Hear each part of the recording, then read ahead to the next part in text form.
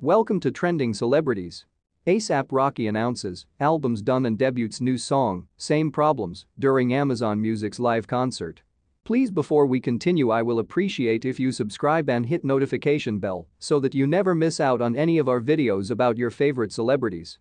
ASAP Rocky announced his new album is finished before taking the stage to perform some new songs on Amazon Music Live Thursday night December 8. He made the PSA during Thursday Night Football on Amazon Prime Video. My first time back on stage. The album is done, don't be dumb, let's go exclaimed the rapper. Rocky later returned to screen. For those at home watching Amazon Music Live, the streamer's live concert series hosted by 2 Chainz, to perform four previously unreleased songs from Don't Be Dumb, as well as some classic fan favorite classic like Everyday, Lamborghini High and Lord Pretty Flacko Jodye 2.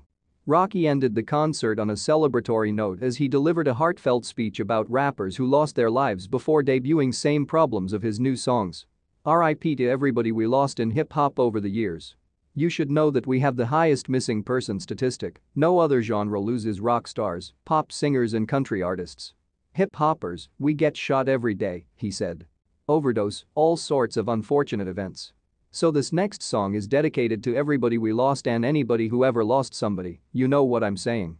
Images of Takeoff, PNB Rock, Young Dolph, The Notorious B2pac, Juice WRLD, XXXTentacion, Pop Smoke, ASAP Yams and more appeared on screens on either side of him as Rocky repeatedly asked, how many problems do you solve, over a haunting piano beat. His partner Rihanna, Tyler, The Creator, Snoh Aalegra, Buddy, Earl Sweatshirt and other stars were present.